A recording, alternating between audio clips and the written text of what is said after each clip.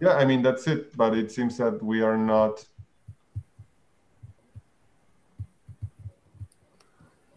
Is it working now? Yes, I mean, that's it. But it seems that we are not. It is streaming now. Okay. So everyone who has the YouTube open, please uh, mute the mic so we don't have background noise. And with that, over to you. Okay, so shall we start? Okay, so uh, we're all here to, today to uh, listen to uh, Antonia Machlouzarides-Shalit, who uh, is going to defend uh, PhD thesis entitled uh, Development of Subject-Specific Representations of Neuroanatomy via Domain-Specific Language. Um, so Antonia, you, you have uh, approximately 45 minutes to present uh, your, your PhD, and then uh, we're going to move on to questions. So it's over to you. Okay, thank you. I will now share my screen. And please confirm that you can see it all right. Yes, we can. Okay. So, hi everyone. Thank you for coming virtually. Uh, my name is Antonia, and I will be presenting the work that I conducted during my thesis under the supervision of Dr. Demian Wassermann at INRIA Paris-Saclay. The title of my work is Development of Subject-Specific Representations of Neuroanatomy via a Domain-Specific Language. This presentation is divided in three parts. First, I will look at neuroanatomy and neuroimaging analyses. I will go over the relevance of sulci in neuroscience and how we use this information to create an organization of the cortex, which we use as a basis in this work. I will then go over brain mapping techniques when we image the brain and our proposition for a new approach to fit into the current brain mapping field. In part two, I go over the design and implementation of NeuroLang. I look at how we construct queries in NeuroLang using translations of neuroanatomy, the experiments that we conducted using those queries, and the results from those experiments where we look at sulci both on the individual level and on the group level. In part three, I look at the implications of our work. I, I present how we derived a method to quantify the stability of sulci from our experiments, as well as the overall implications of NeuroLang. I look at any limitations or open questions of our work that we discovered along the way, and the conclusions that we draw and our overall contributions to the field of brain mapping. So our overall objective in this work was to create a Sulcal mapping technique, which is based on individual spatial geometry. The purpose of this is to conserve the individual variability of sulci. And by doing this, we create a way to systemically navigate across the cortex. We can look at individual sulcal morphologies. We can analyze group level sulcal patterns as well as group level sulcal stabilities. And the main message that I want to convey is that we represent here classical neuroanatomy of sulci using queries. This can tell us that labeling subject-specific sets of sulci using spatial geometry can act as a complement to current template-based methods for sulcal identification, and it can aid in subject-specific correlations of other structural or functional features. So the first question we need to ask is, why are we looking at sulci specifically? The brain is very complex, and we are looking specifically at the cortex, which is the outermost layer of the brain. It's very thin and it's highly convoluted. The outer protrusions of these convolutions are called gyri or singular gyrus, and the inner folds are called sulci or singular sulcus. Sulci have been used for reference in neuroanatomy since the beginning of neuroanatomy itself, and this is because sulci are actually visible by eye on the brain ex vivo. And you can actually trace the formation of sulci from the surface when looking at the brain ex vivo. So they've been used since the beginning of neuroanatomy as reference landmarks. And by using them as landmarks, we can actually parcellate the brain into different areas. So by using certain sulci to delineate different areas, which we call lobes, we show that they have relationships with not only structurally distinct areas, but also functionally distinct areas. For example, the central sulcus splits the frontal lobe from the parietal lobe, and these areas are not only geographically different, but they also have different functions. Another area where sulci are relevant is the field of comparative anatomy. So humans are not the only species with highly convoluted cortices. So we can use sulci as a certain metric to look at the similarities or differences between humans and other species, particularly primates. So there's a beautiful schematic here from Heuer et al. in 2019 comparing to scale human brains and 33 other primate brains. And by looking at certain metrics of sulci, such as they looked at depth or fold wavelength, we can compare between ourselves and other species to look at not only the differences and how human species have evolved over time, but also at like particular features which make humans unique. Another field where sulci are relevant is developmental neuroanatomy. So the brain starts off as a very, very small, smooth surface, and then over time, it starts to fold in on itself. This happens mostly during gestation, but it also continues through to adulthood. So people have been tracking these changes of sulcal formation from the beginning of um, embryonic development. For example, Chi et al. In, in 1977 manually drew the formation of these sulci over time. And with the advent of neuroimaging, we can actually make more accurate 3D representations of how these changes happen over time in the brain.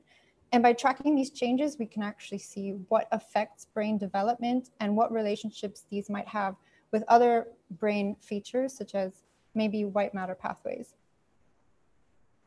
So we looked at all of the information we could find on the Sulci in the literature, and we found that there was a large overlap between the sources of sulcal descriptions, but there was also a large disparity.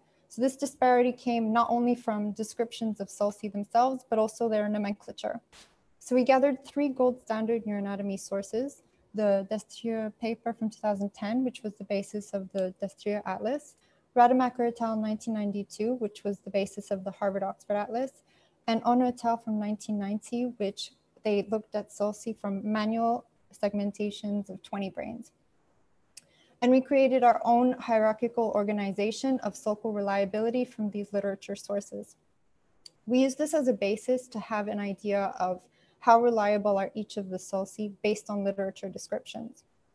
And using this as a basis, we constructed our own NeuroLang taxonomy um, based on the reliability from the literature, but we also incorporated the feature of spatial organization of sulci. So within each tier, we rearrange them so that they, they line up to where they exist on the cortex, split up into lobes. These are all in reference to the primary sulci, which as I mentioned before, make excellent reference points because they have certain consistent characteristics which make them excellent reference points. Among those are that their location is always consistent. They are among the deepest of the sulci in the brain because they're among the first to develop. They have consistent shapes and consistent relationships to surrounding sulci. They have low susceptibility to other influences, also because they're among the first to develop. And they're reliable to always be existent in all healthy brains. So we have this understanding of how brain anatomy works. How do we look at the how do we look at this when we image the brain? Well, a gold standard method for looking at brain anatomy in imaging is to use templates. Templates for atlases work by having a predetermined set of regions which are previously acknowledged, and a template can warp a model image onto any given brain. This is highly efficient for large scale analyses However, by definition, since there is a predetermined set of brain regions, there is a loss of inter-individual variability. And this is exactly the variability that we want to conserve in our work. There are also other sulcal parcellation techniques which extract sulci and automatically label them, such as the Brain Visa, Brain Visa Atlas or the Mars Atlas. And similar to the Mars Atlas, our method is based on the spatial organization of cortical sulci in, in in reference to certain landmarks. However, a key difference is that we want to label sets of sulci per subject based on individual morphology. So what we want to do is first determine the existence of a sulcus and then label it. Um, by doing this, we hope that we can include a lot more of the unreliable or unstable tertiary sulci, which are often overlooked in current atlases or current templates. So we propose to use spatial geometry. Spatial geometry refers to the structure and relationships of objects in a space. This can be in terms of points or lines or boxes or other geometric shapes. We will expand on the idea of using interval algebra to relate these objects in space. This was explained by um, Navarrete et al. in 2013 and Dilla et al. in 2017. I'll go more into detail about how these relationships work. But the point is that you can relate objects in space to each other on a 2D plane. And since we have a 3D space using the brain, we take the 2D planes of each of the dimensions to relate objects to each other. So the x-axis represents the medial lateral relationship. The y-axis is the anterior posterior and the z-axis is the superior inferior. And by doing this, we're able to prioritize the qualitative relationships of sulci over the individual sulcal morphologies. To do this, we will be using first order logic. So first order logic is a type of logic used in many different fields, including mathematics and philosophy for representing knowledge. It is composed of syntax and semantics, very much like English, where syntax tells us about the structure of a sentence and semantics tells us its meaning. In first order logic, you have objects within a domain. A domain is just a specific sphere of knowledge on which you want to work. Within a domain, you have certain predicates which are used over objects, and you can combine these to create formulae. We will be using query, which are formulae with a specific form. From formulae, you can have the creation of axioms, which are able to capture foundational concepts within a given domain. As an example, I have a poster here from a website about how to explain coronavirus to children, which gives you some basic information about what the coronavirus is. So we can use first order logic to represent this information. So if we acknowledge that we have certain objects in this knowledge here, we can use predicates over those objects and combine that information to represent the knowledge on this poster. If we break this down, we can see that we have certain objects such as eye or common cold or flu. We have predicates which give relationships or characteristics to those objects. For example, virus is a characteristic characterizing the object and cousins gives a relationship between two objects. And you have formulae which give you information of a predicate over an object. And this can be either one case or the conjunction of many formulae together. So in this way, you can represent the knowledge on this poster without losing anything along the way. And then from this, you can extract more knowledge, such as if you also have an axiom which tells you that there cannot exist X such that X is a cousin of itself, you can therefore understand that the coronavirus is not the flu and the coronavirus is also not the common cold. So we've shown here how sulci are relevant in neuroscience and why we want to look at these these structures specifically. We identified sulcal mapping as it exists now and how we can contribute to this field. We looked at how we can use the brain space spatial geometry to navigate across the cortex. And we introduced the basis of first order logic and how we can use this to represent knowledge for the construction of queries.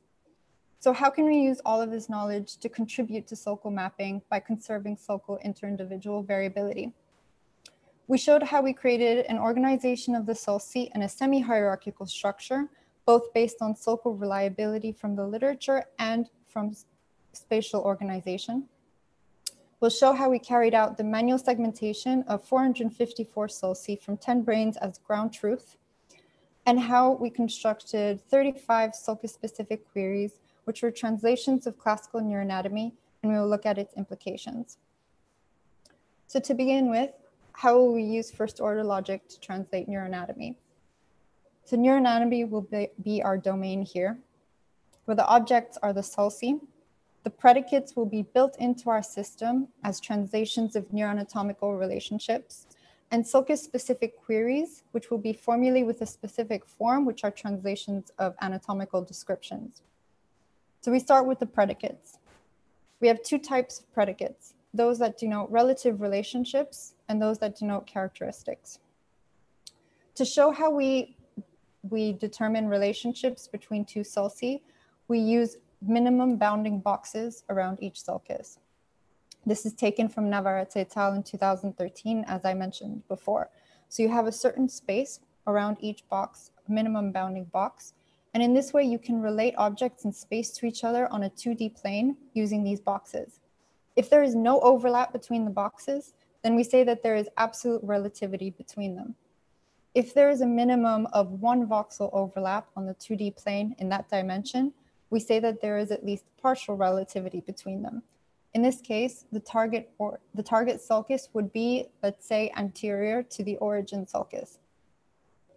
And in the case where there is more than one partial relativity between two sulci, you can take the proportion of each relationship and look at which one has the majority. In this case, the target sulcus would be, let's say, anterior of the origin, overlapping the origin, and posterior of the origin. Then you look at the proportion of each relationship and you can take the majority to be the dominant relationship. In this case, clearly the dominant relationship would be anterior of.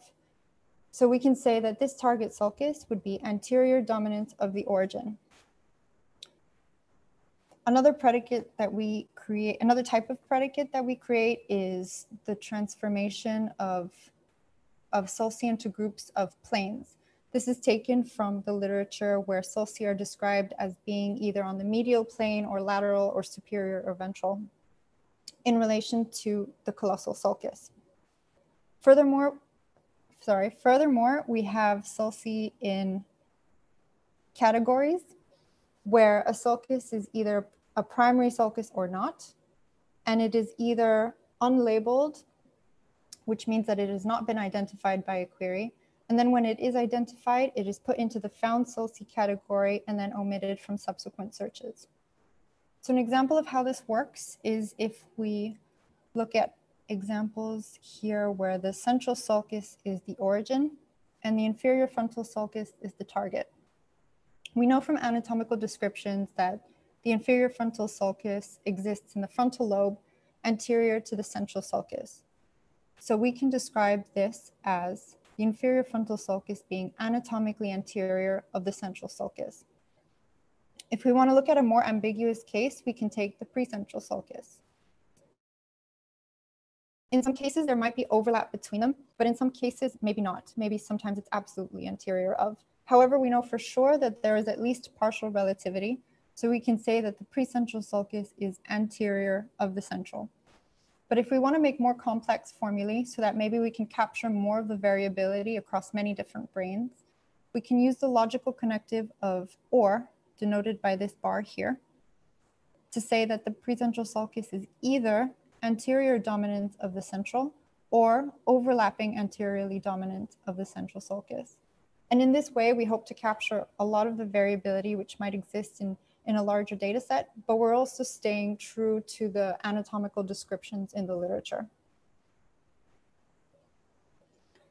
So we wanted to construct queries which reflect this. So we look directly at sources in neuroanatomy. We take, for example, descriptions for the inferior frontal sulcus from four sources, and we look specifically at how this sulcus may relate to primary sulci, which are our reference landmarks we can construct queries which are reflections of those. We mentioned before how a candidate which would fulfill the requirements for the inferior frontal sulcus would be anatomically anterior of the central sulcus. And we also see from the literature that it would be anatomically superior of the anterior horizontal ramus of the lateral fissure. We also know that it exists on the lateral plane, so it exists as part of the group of lateral sulci. And we also know that it's not a primary sulcus.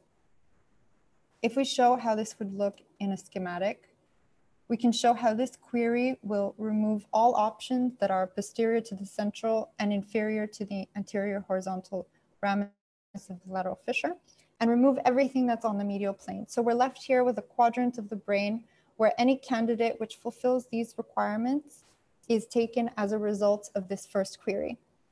However, in some cases, like this case, for example, we might have sulci which fulfill these requirements, but there's more than one result. In this case, maybe we take the middle frontal sulcus as well. In such a case, we have a secondary query, which looks at the results of the first query, all of the candidates, and it compares them each and takes one which takes a requirement of what you want. In this case, we want from all of the options the most lateral sulcus. And the most lateral sulcus is represented as having the largest x coordinates. So we have again relationships medial lateral plane using the x-axis. So we compare pairs of sulci between the results of the first query, and we say that there doesn't exist a candidate which has smaller x coordinates than the one that we want. And in this way, we can remove all other options, and then the final result is highlighted here in red. So we did this for 35 sulci, and we wanted to run experiments where we could look specifically at three things. First, the success of the queries themselves.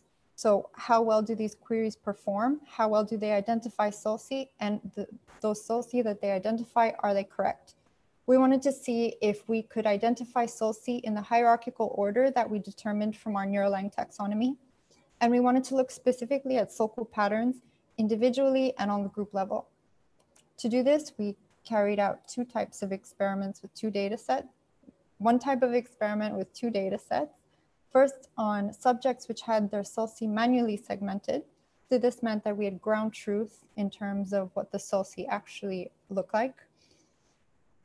And we also ran it on subjects which had their sulci extracted using the software Mindboggle. So we did manual segmentation of 10 subjects and we did this to get an idea of ground truth sulcal morphology and ground truth absolute position of sulci on the cortex. We did this, as, this also helped us in the design process for the queries because the queries were designed using the Destrieux Atlas, which is one of the current gold standard methods. Um, and we also adapted the queries based on our observations while segmenting the sulci. So then we tested our queries on these 10 subjects, which were from the Human Connectome Project dataset. We had a total of 454 sulci, and this work was done in collaboration with Dr. Nikos, Dr. Nikos Makris at Harvard University.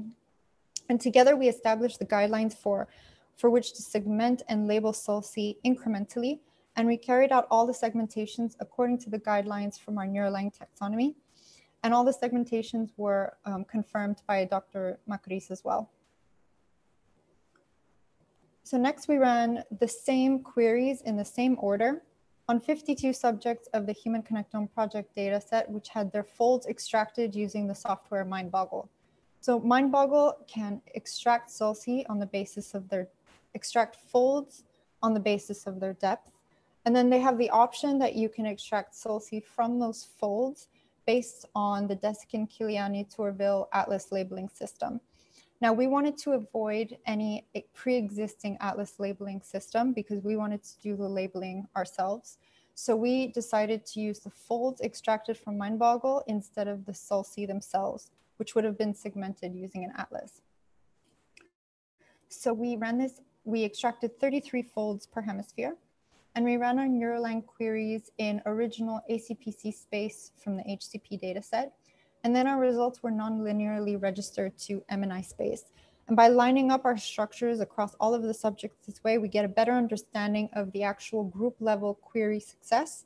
And we could also look at peak coordinates such as maximum voxel. So if we look back at what we originally wanted to examine through experimentation, we could examine the success of queries through two metrics, specificity of a query so the proportion of how many query sulci did the query actually find in a population and sensitivity, which is out of those sulci, how many were actually correct.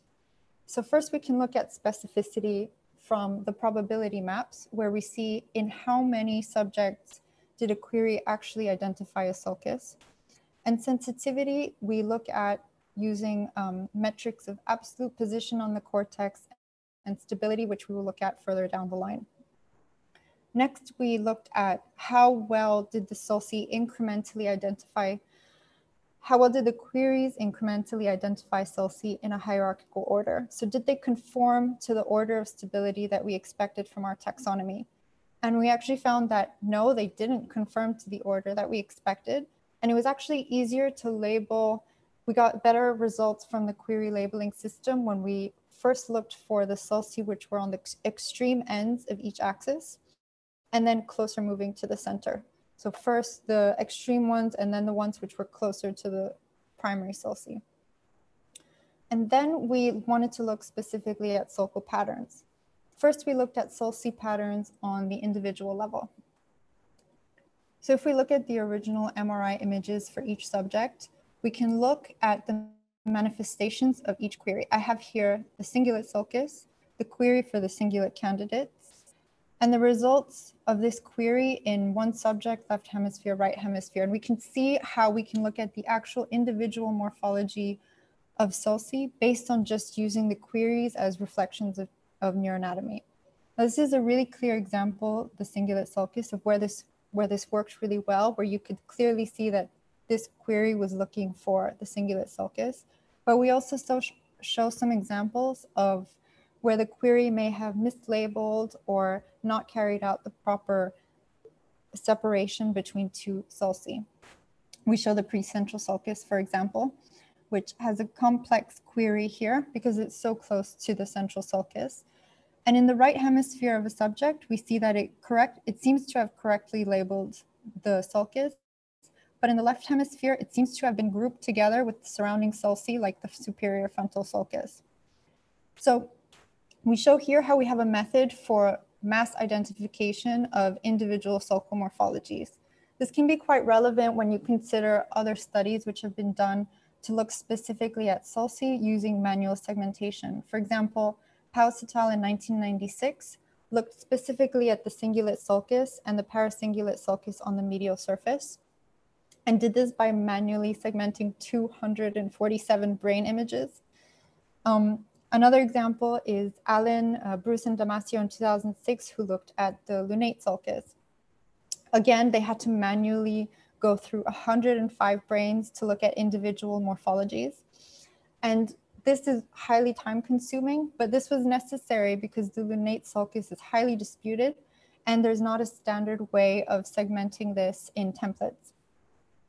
More recently, Sprung-Much and Petrides looked at the variable sulci in Broca's area, specifically the sulcus diagonalis.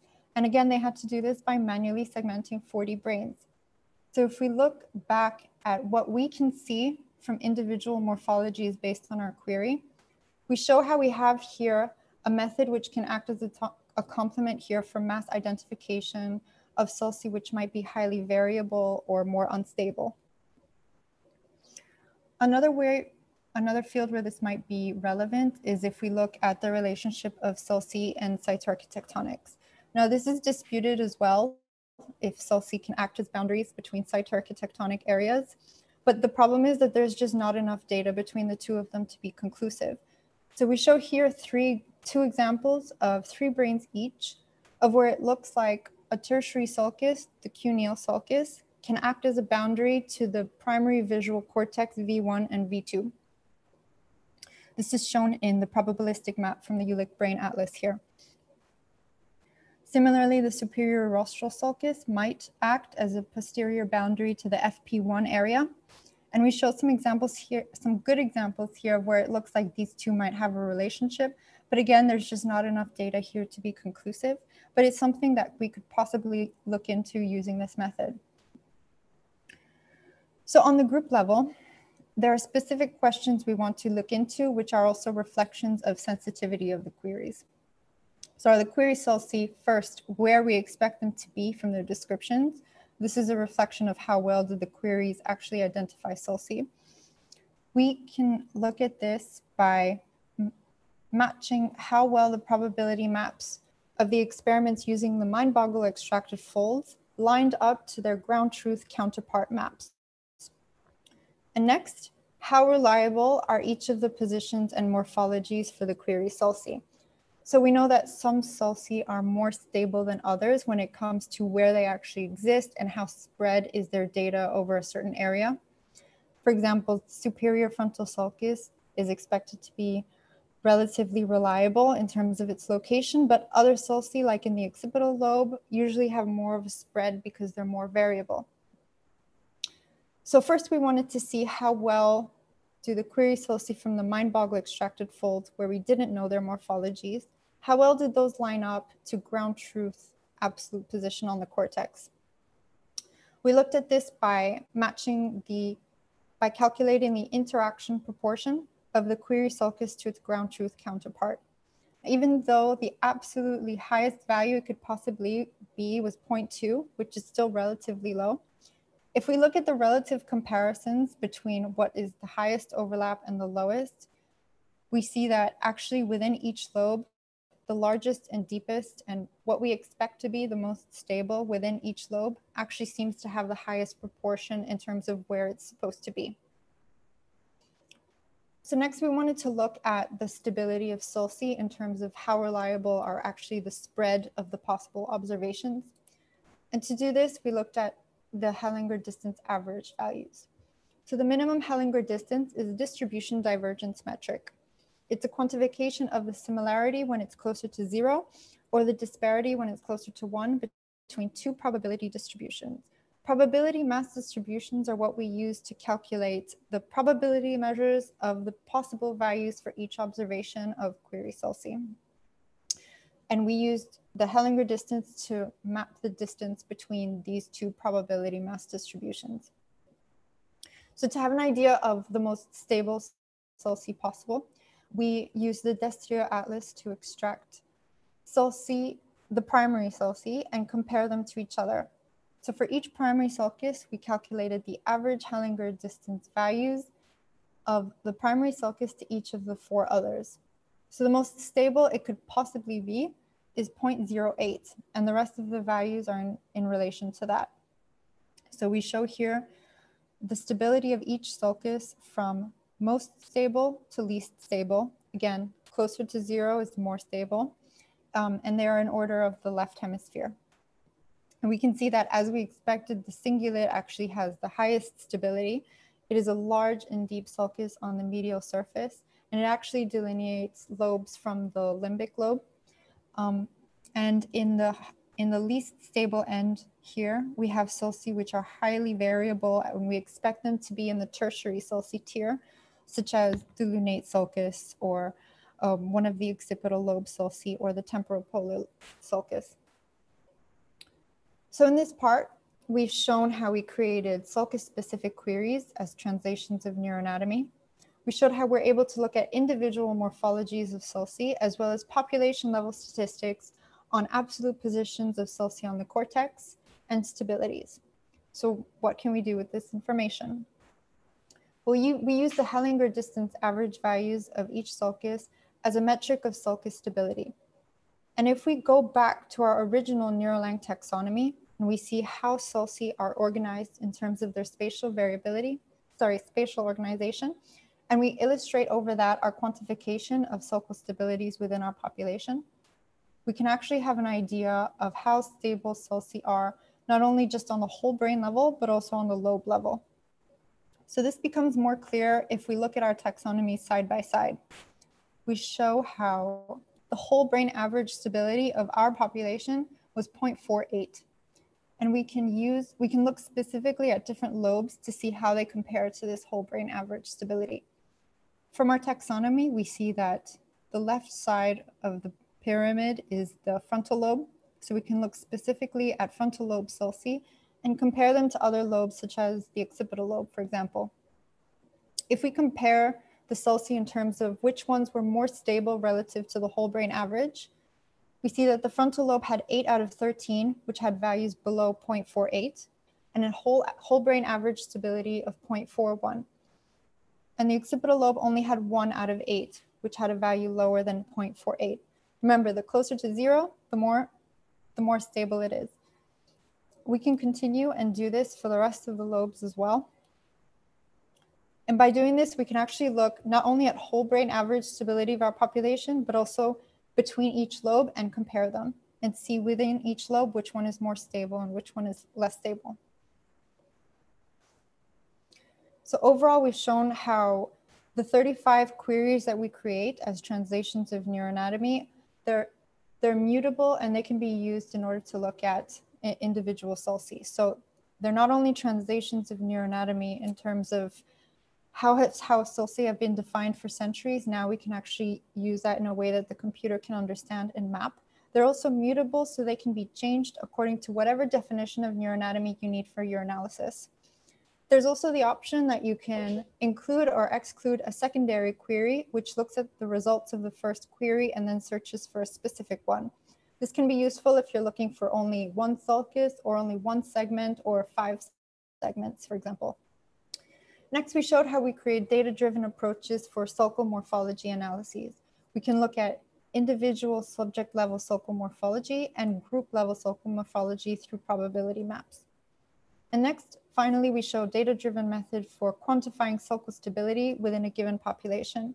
By doing this, we can look at individual sulcal stabilities, as well as whole brain level stabilities and lobe level stabilities. However, our method is far from perfect. As I mentioned before, there was an, a low overlap of query results when it came to absolute position of sulci on the cortex. So this can either be an indication of higher specificity of queries, but a lower sensitivity, meaning that the query will most likely identify a sulcus, but it wasn't necessarily the correct one. Or it can be an indication of the way that we manually segmented the sulci.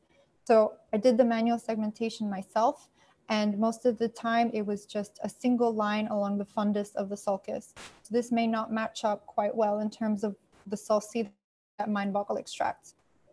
It can also be an indication that we can have an improved position validation method, such as using the Mindboggle Desikan Killiany Tourville Atlas to compare absolute position instead of our own ground truth. Another limitation is the possibility of the follow through of mislabeling. So if a query mislabels a sulcus and then that sulcus is omitted from subsequent searches, this creates a follow through problem. And a possible amelioration for this would be to have checkpoints at certain points during the process, perhaps after the identification of all sulci in a lobe. Open questions, which we discovered along the way, include how we could incorporate sulcus trajectory into our work. So we looked at how we could use star calculus to represent sulcus orientation, which is often included in anatomical descriptions. This work was done in collaboration with Valentin Iovene, where we took the 3D coordinates of sulci and projected them onto a 2D plane. And then we matched its linear regression line to the closest PCA main direction. This work was inspired by the hip hop method by Auzias et al. in 2013, where they had 2D coordinate system of all of the sulci in terms of longitude and latitude in this cortical organization relative to reference points, and also of Toro and Burnod in 2003, where they created a geometric model of the stereographic projection of the brain using reference points as axes, and then the sulci were either given radial or axial coordinates. However, in the end, our method using star calculus did not actually aid in the in a better identification of sulci. So we excluded it from the final experiments, but it's something that we would like to go back, back to. Furthermore, it would be a, a good next step to incorporate gyral labeling into NeuroLang. Sulci many times act as the boundaries for gyral areas. Um, so the next step logically would be to include gyral labeling. However, this comes with its own complications, such as if a sulcus is not bounding entirely gyrus, where do you actually stop? This is something that I'm sure a lot of other people have dealt with and we will come up against ourselves. Um, and next, uh, we'd also like to incorporate cytoarchitectonics into our method because as I mentioned before, it's suggested that there might be relationships of sulci and cytoarchitectonics, but to be able to have a probabilistic atlas along with our individual morphological method, we could see this more clearly. So overall, we've shown how we created individualistic sulcal identification of sulci.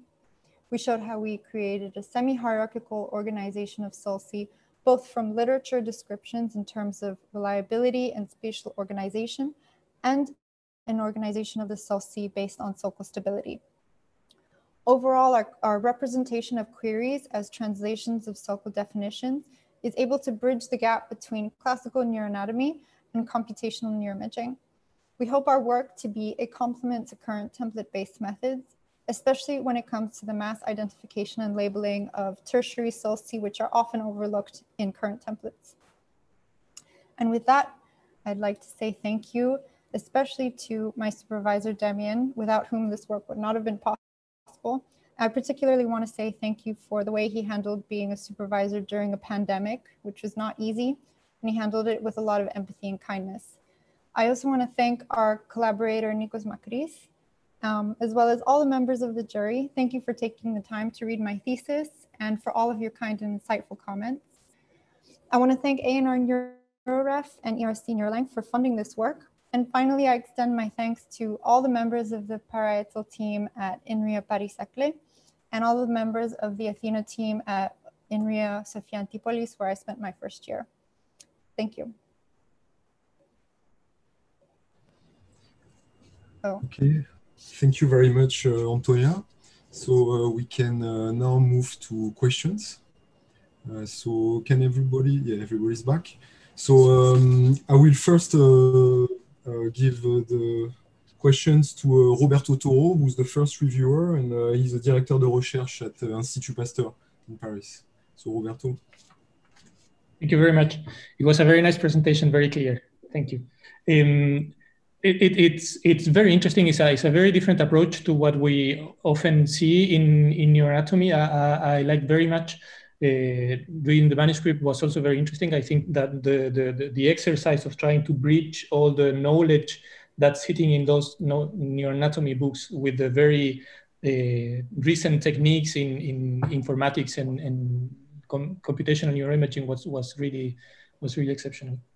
Um, so uh, I, I, have a, a, few questions. So the, the first one would be uh, concerning the, the um, probably the, the, the, the, coordinate system that underlies all these queries. You know, this is basically a, a, coordinate system defined in, in space, mm -hmm. the X, Y, and, and Z coordinates and planes and stuff. Uh, although uh, in the nervous system, in particular in the in the primate nervous system, we know that there's a, a bending of the like if you compare it with the nervous system of a, a lizard that would be straightened up, then the nervous system of a primate is something that's like folding like this, no? Um, which makes that the the whole brain is kind of turning.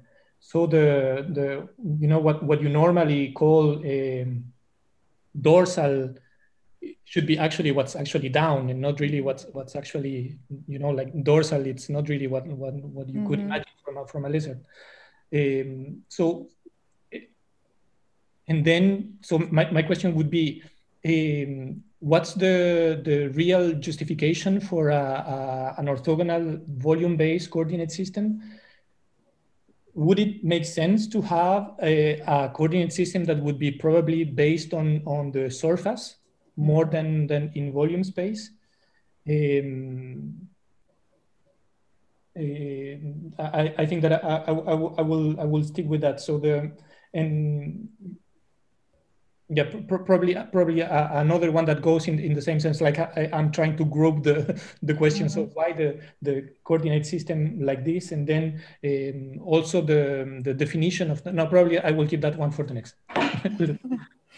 Okay, so um, as I understand it, you're asking why didn't we use geodesic distances along the surface to compare? Yeah, uh, it could be a, a, coordinate system that turns, no? Right. Well, in in, in, mice, the, you have the frontal here and the temporal. It's like like back there. Mm -hmm. in, in, humans, it, it, like folds back to the front. Right. So in in, in it wouldn't be X Y Z any. So if you were to define a NeuroLang for mice. Mm -hmm would it have to be different, like the X, Y, Z coordinates than for humans or? Yeah, I'm actually not familiar with the, the geometry of the mouse brain itself, but it would be interesting to see how we could translate it to other primates. That's something that would be interesting for the future. Um, but back to your original question, we, we used um, we use the coordinate system of the sulci in volumetric space by creating bounding boxes around each of them so that we could compare them in space within each dimension. So instead of flattening out and having a 2D surface where the sulci would be geodesically compared to each other, it was more like keeping within the space and then using spatial geometry as the tool instead of geodesic distance as the tool, where mm -hmm. if we had a 3D box around each sulcus, we can then use each of those 2D planes in the 3D box to relate them in space. I think it would be a good way so that we could possibly in the future incorporate other structures of the brain, like like the structures inside the brain. Um, but I know that people do use a lot of 2D coordinate systems to map along the brain. And initially we did we did look at geodesic distances between them, um, but we actually found that to the translations of neuroanatomy actually work by looking at spatial relationships volumetrically. Mm -hmm. Mm -hmm. Yeah, that, that, that was kind of my, my question finally, because the, um, the brain is not flat, no? Mm -hmm. not a flat surface. So most of the structure are actually in volume. So I, I, was wondering whether the choice of the X, Y, and Z planes was driven by, uh, by methodology, methodological simplicity or a, neuroscientific uh, justification. So, and it would be like part, part of both, no? Yeah, it's, it's, I think it's a part of both. First of all, that uh, in terms of simplicity, it's easier to use the planes of the 3D box to compare to each other. And then second, that the translations of neuroanatomy and the queries, though it actually worked better in terms of volumetric comparisons rather than geodesic comparisons. Mm -hmm. Then I, I, was also interested in, in, the way in which you define the primary, secondary, and tertiary sulci. Mm -hmm. uh, it remind, reminded me of the, the like very lengthy discussions we had with David Germanaud and Julien Lefèvre when they were trying to do something similar, trying to distinguish. So it, it, it, the definition seems to be very intuitive when you first listen about primary, secondary, and tertiary. You say like fast you know, easy peasy. You will just you know. Mm but then when, when you actually try to define them, it's it's not trivial at, at all. Yeah. So David and Julien in particular, they, they really struggle to, to find a quantitative way, uh, an algorithm that will tell you these are primary, these are secondary, these are tertiary. They came up with, with one solution. I think that you came up with a classification that in, in part, it's similar to what you would find in, in, in the books, but there are some, some other places where, where that, that wouldn't be the case. Um, in particular, I think that your what you call tertiary sulci, it's something that's kind of probably between secondary, like closer to secondary. No, it's they they even have a name. Like normally tertiary folds wouldn't even have a name necessarily. So um, I, I, I, was wondering um, what's the role of the stability in the folding for the success of the queries in NeuroLang? Because for example, in, in if we take tertiary folds as you know every little branch mm-hmm. clearly there's not even a name. I don't know if it would be possible to name them. And wouldn't would would so part one of the question would be wouldn't it make sense for example although you are working in, in volume space to smooth the brain before to remove all tertiary sulci and then get something that would be already much more stable I don't know like what, what would be your, your idea on that. And, and then I was also wondering, it was quite surprising that some of the most stable folds were not what one would think are the very stable folds. No, for mm -hmm. example, I, um, you know, like like the the the cuneal sulcus was one of the yeah. most stable, even more stable than the calcarine, which is quite surprising. Like a, a like actually, I didn't even know that that fold existed before and, and then the intraparietal sulcus that appear to be one of the least uh, mm. stable. It's like a, a, main landmark of the parietal lobe. Like everyone mm. has it, but it's true that the geometry is super complex. Yeah. So the um, would it be so? What's the what's the um, the importance of stability? Is NeuroLang something that would work only for stable folds? And if we put the question the other way around, um, would it be possible to create a query that produces a very stable result, although it's a fold that we may not even know what's the name.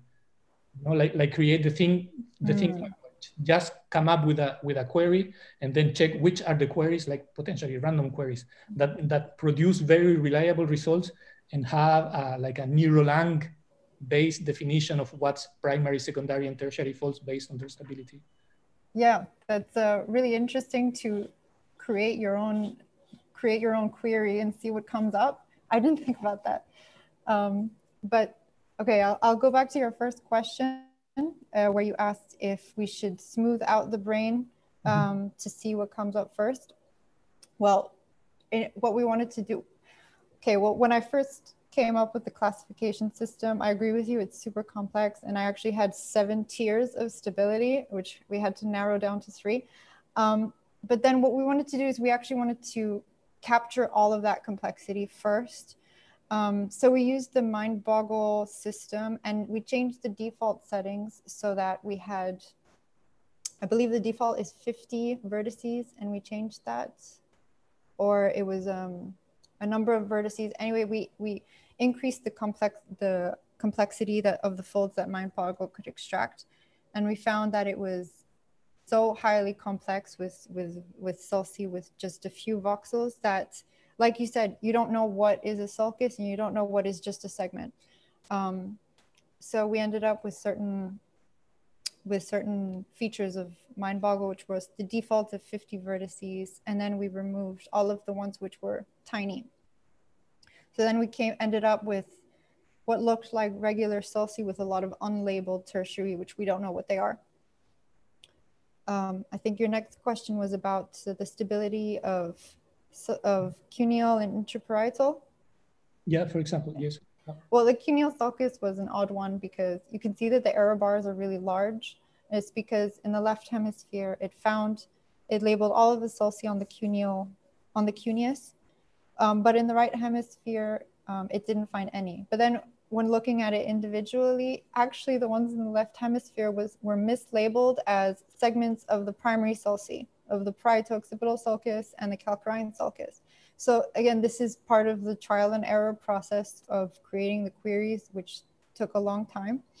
Um, and, and, similarly, the interparietal sulcus was a similar problem that Mindboggle didn't extract a single complex structure for the intraparietal sulcus. It really broke it up into many different parts. So this is really what decreased the stability of the sulcus from the queries, um, which is not a fault of the extraction technique. It's just how it was because these are these are separated into many different segments. Um, however, the the query design process was a, a real trial and error process. So we had to individually look at the morphologies of individual query sulci to see how they worked. Did they mislabel? Did they find only one segment or many segments? Um, and then your next your next question, could you remind me what it was? Well, no, I think that that that's that's what I wanted to to know. Yeah. And, and then just for finishing, and and it's like again relative to the same to the same issue, no, the, the like the role of stability and the role of the very small folds. So right. you segmented manually a, a, group of ten brains. Mm-hmm. Of course, there, there were also the brains segmented with with Mind Mindboggle. Mm-hmm. I remember well but which sounds kind of a, a, very small sample for given given the human human variation. Yes. So when you find that, for example, a, a particular fold is is uh, unstable or something mm. like that, mm-hmm. Would it be possible to distinguish or so first? Uh, what would you expect to happen when you increase the sample size? Would that mm. make everything overall more stable, mm-hmm. or would it be possible that you start to see alternative patterns? So Ono in particular, they were describing uh, group, groups of people where folds are in this way, and then the same region in some other group of people, like 60% and then 40% will have folds which are in this other way. So if you just combine everyone together, you will get the impression that it's probably an unstable fold mm -hmm. or an unstable query. Although what happens is that you have uh, two alternatives, no? and they are they could be potentially the two of them super stable yeah. But just because of looking at them as a single query would give the impression that they are actually not stable. Yeah. Well, that's that's kind of one of the issues with anatomy, right? Because everyone has different definitions of where a sulcus belongs to. Like Ono might um, describe a group of sulci as having different morphologies, but another anatomist, like if we increase the sample size of how many we manually segmented, we could also group a, a, a, weird subject into being a segment of a known subject, or we could call it as being a tertiary sulcus, which exists in only one brain. So when we did the manual segmentations, I tried to stick as much as possible to the existing definitions. And I didn't really include any outliers. So we only had a total of 40 sulci, I believe. Uh, yeah, so there were 40 sulci per hemispheres, and they mostly conformed to the the three sources which I, I used in the beginning with the Destrieux Atlas, the Rademacher, and Ono. Mm-hmm. Okay. And now, now really the really the last one and more like a science fiction type of question. So the, there's many psychiatric disorders where where with reports of variations in in folding anatomy, like mm-hmm. comes, comes to mind autism, of course, where people have suggested that there's an excess of brain folding and then probably some mm-hmm. other disorders uh, decrease, but that would be mostly, I imagine, this tertiary fold. So how could you imagine would be a type of analysis using NeuroLang, using this method within the context of psychiatric disorders? What would be the type of thing that you could do? Yeah, so that's actually one of the main applications that what I would like to use NeuroLang for is for psychiatric disorders or neurodevelopmental disorders like autism.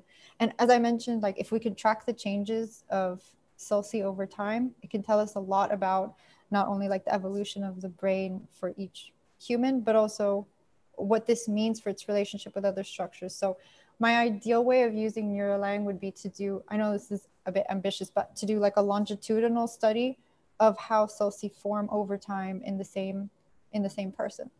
So I looked previously at longitudinal analysis in autism, and you can track the changes in like a healthy population or psych or path pathological population. And I would really like to see, I'm really interested to see the changes of sulci over time. Mm -hmm. Yeah, but, but like I was thinking more kind of concretely, what would you expect that a query that would work in, in neurotypical subjects um, would work less in, in psychiatric, uh, in patients mm. with psychiatric disorder, or would it be some other type of uh, measurement that you would be able to do with, with NeuroLang? Oh, um, I expect that it would work the same.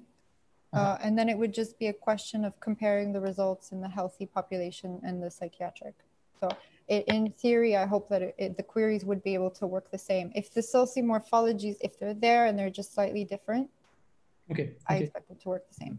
So th there wouldn't be a difference in the in the success of the query, but then once the query succeeded, you would be able to look at some other additional parameters of the the, the anatomy to try to find differences. That that's the idea, yes. Um, in practice, though, I I don't know how well that would work out.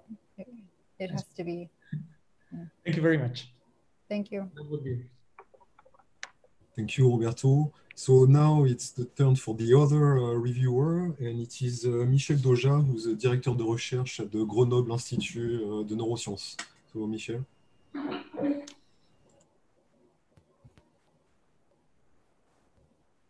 On ne t'entend pas, Michel.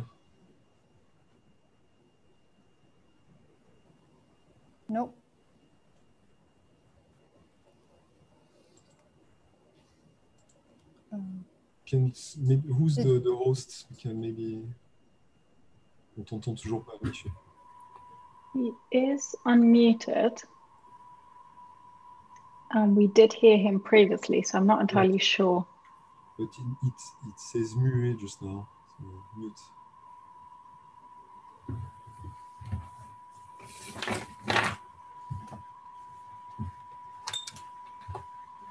Michel, tu peux peut-être vérifier tes settings pour le, micro, peut-être dans les préférences de Zoom. Ah. Ça ne change rien quand tu éteins ou tu allumes ton micro.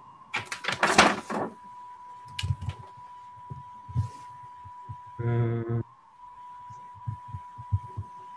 There's I, I muted and unmuted him, but it made no difference. Okay, so Michel say I try reconnection. Oh, okay. Try reconnection. Wait yes. for him for one minute. It's not going to be long, so hopefully he'll be back very soon. You also hear the background noise? Okay. Say that again, sorry. Ah, it's gone now. Ah, hang on. It's back there's a background noise that we can hear. So Michel is in the waiting room. Yeah. Is it Michel, It's okay? Ouais, on yes. Yeah. So okay. first of all, uh, thank thank you uh, for for the invitation. Thank you to your supervisor for the invitation to have the opportunity to read your manuscript, to make a review, and to participate to this jury. Um, your your um, presentation was very clear, very a lot of uh, nice illustrations. It was very perfect, and uh, the same for your manuscript. A very synthetic uh, manuscript. Maybe in some part could have more. In, you you need maybe to add some additional information. Maybe some part are very short, but uh, we have started to discuss by email uh, about some uh, question I have, but um, um, first of all, um, about the predicates. Mm -hmm. I don't really understand how do you um, uh, select uh, the predicates. At the end, you have how many predicates did you use for the representation? So I could share my screen again. If you... Yeah.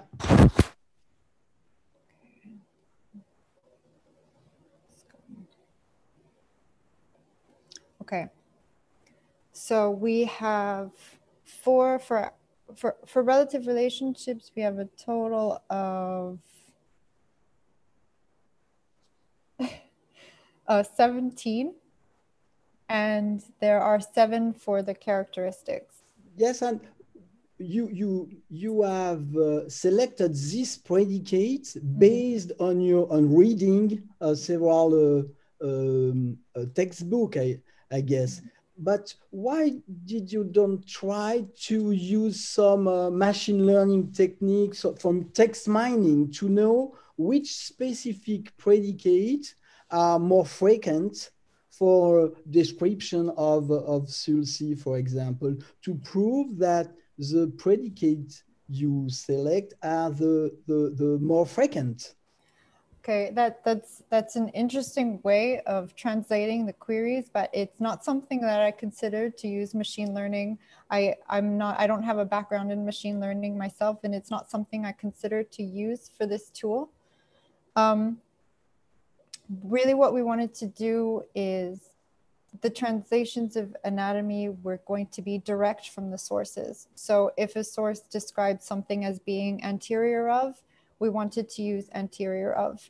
And the variations of anterior of were based on the, the observations from the manual segmentations mm. and from the from the trial and error designs but machine using machine learning is yes because because now we have very very easy to use a text mining algorithm mm -hmm. to uh, to be able to um, to find the more uh, frequent uh, predicate used mm -hmm. for uh, anatomy description indeed mm -hmm. but uh, you are not familiar with machine learning but i like that in fact your work is very oriented to a knowledge representation and it's very old fashioned. It's not the, currently, it's not mainstream at all because uh, people try to remove remove uh, knowledge and knowledge representation and try to uh, use data only. So I like this this old fashioned AI indeed, but but uh, it will be elegant to show that the predicate you use are in fact the predicates that are the more frequent in textbooks. That's just my point. Mm. Yeah, that's that's an interesting point, and it's not something considered. So we could include it to look at. Yeah, actually... and, and because you, you mentioned also that you use the Allen temporal relation, yes. but it, this is this is exaggerated because Allen 13 uh, temporal relation, and indeed you have uh, you you use only before and after or mm. during. That's all, indeed. Yes. Yeah. Mm. Okay. And it's also a pity that you don't mention the work of Olivier. Sorry? I think you're scratching against your microphone or something, but there's a terrible background ah, noise. Ah, okay, okay, sorry. Okay.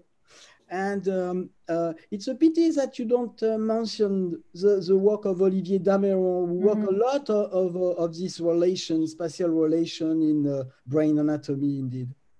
Yes, um, I remember from your email you mentioned this and looking specifically at the paper, it's true that they do work in spatial relationships. However, um, we're working here in the in the knowledge representation specifically. Um, and, but it's something that I, I, as I as I mentioned to you in the email, we will incorporate into the updated version of the thesis. Yes, because it, it is it is same, same line that you work indeed. It's, yeah. Yeah. Yeah. yeah. Um, yes, and um, um, yes, you mentioned that you have, um, in fact, uh, 35 queries to describe. It's, it will be interesting to put these queries uh, in annex of your manuscript because it's very interesting indeed. Yeah, um, I had a few examples, but it's true. Yes, only three, I guess, I, if I remember. But in an in uh, an appendix it Yeah. will be uh, interesting. Um, Yes, And- I, I can put, Yeah. I can put all 35 into um, the updated version. Yes, and it could be also interesting to have more quantitative information about. Uh, you have your predicates, Mhm. so how uh, uh, how you use this predicate, how frequently for the description of. Uh, you, you know, we have. It's a, it's a pity that in your manuscript we have no uh, quantitative information about the descriptions uh, of, uh, of, of the, the brain anatomy. You understand what I mean? Right. So how often was anatomically anterior of? Yes, for example, yes, Okay. yes. Yeah. Okay. That's, um, okay, yes, I did not include that. Um, I did, didn't calculate that, but we can include it. I mean, And um, it's, it will be interesting also to compare your approach to other technique. For example, here you um, you choose to have to introduce knowledge representation uh, to be able to um, to keep the individual variation of the Mhm. anatomy. That's a very good point. And it's interesting to compare this, for example, with other approach. For example, the approach used in BrainVISA mhm, is uh, it's old-fashioned compared to uh, uh, data um, to neural network approach. You know, so it will be interesting to compare in which cases your approach is Mhm. superior or maybe fail uh, to um, to to this sort of approach more based on on data. You Yeah. know, Actually, we, think? we Mm. did look, we did look to see how well the queries performed when it came to matching it with the Destrieux Atlas. So I Yeah. have here um, a bar plot about the query sensitivity relative to the Destrieux Atlas in each Yeah. hemisphere. Um, so we did this to to look at uh, the comparison to existing atlases. However, um, I think as I, I mentioned in the email, there was there's only 20 sulci that we could check for this because it only has 20 sulci individually. And for the rest of the sulci, we had to use the methods that we use in the final work. Um, however, yes, we could we could uh, compare to the BrainVISA Atlas, or um, we could also compare to the atlas which is used in Mindboggle itself. Yes, for example. Atlas, Yes. yeah. and to show but because it's very interesting and to to to know in which uh, in which cases uh, the introduction of uh, of uh, anatomical knowledge Mhm, it's your solution. It's more uh, powerful mhm. uh, than without uh, this sort of information you know? Yeah, it's uh, so it would be it would be a really good next step to compare with um, other existing atlases, which are also based on anatomy. Yes, and to demonstrate that uh, it's, it's a good idea or, or, uh, to, to introduce because uh, um, it's difficult to represent, of course, uh, you know that, uh, to, to represent anatomy, uh, especially. Yes. And um, I'm, I'm wondering if it's sufficient to use uh, the, the, your predicates to represent all the situations because for example in anatomy for the central sulcus Mhm, sometimes the, the anatomists uh, um, speak about uh, end knob for the central sulcus you know you have a very a form similar to a w Yes. it, it- they call this the end knob mhm. and uh, how do you represent that indeed? You know, it's not, do you think it's sufficient to have only uh, spatial predicates Mm. to represent uh, um, uh, the, the, all the variation of anatomy, the, hmm. s- the, the, the subtlety, or, hmm. you know, what is your, yeah.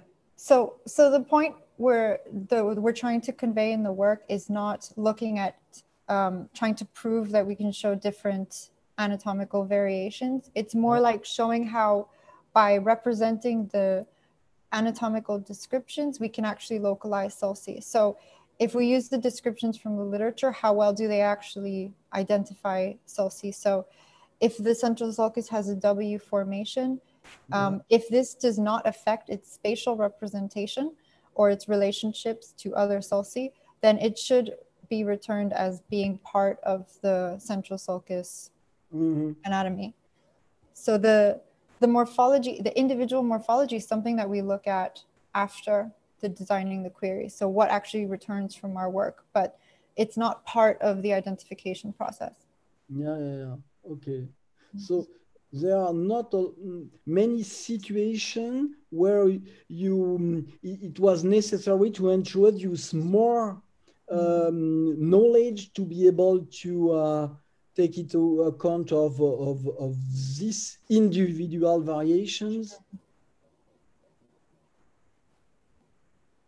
Do you do you encounter specific situations where we need to introduce uh, I don't know which sort of information to take into account of uh, of individual uh, uh, modification, variation, and Yeah, we we came across this when we were looking for. Okay, I can give you two examples. The first Yeah. one is um, the pre-central sulcus and post-central sulcus, which are parallel to the central, um, Yeah. and they were really difficult to localize because they were in such close proximity and because they were so similar.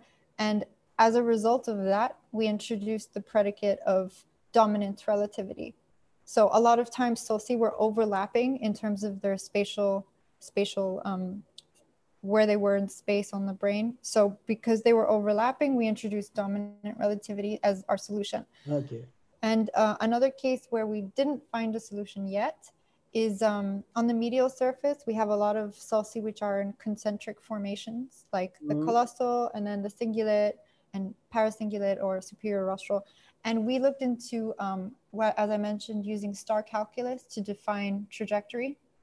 Um, but in the end, it actually did not help in the identification process. So it's something that we could work on to, to fix, um, to look specifically for these sulci. But everything was really trial and error process for looking at anatomy. Yeah.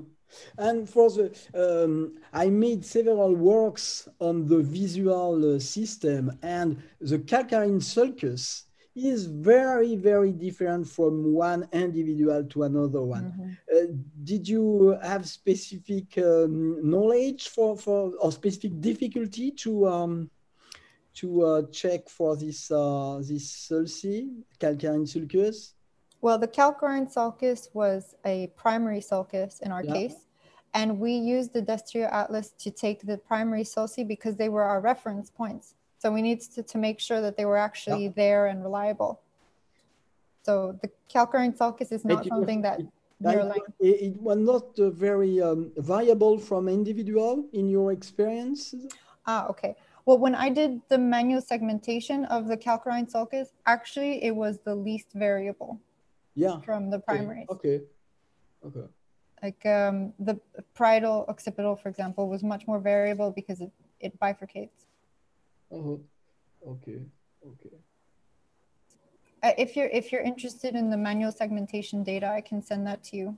Oh yes. We have yeah. We have you. probability maps for each of the sulci from the manual segmentations with values of actually how how much overlap there is between them. Yeah, yeah, yeah, yeah. And um, I really like uh, your work on, around the stability over the population uh, using your um, uh, the Hellinger distance and so on. That's very interesting. Thank you.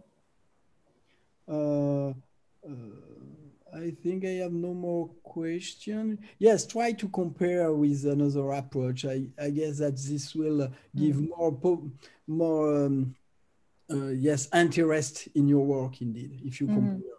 Yeah. Okay, thank you very much. uh, Thank you. Okay, thank you, Michel.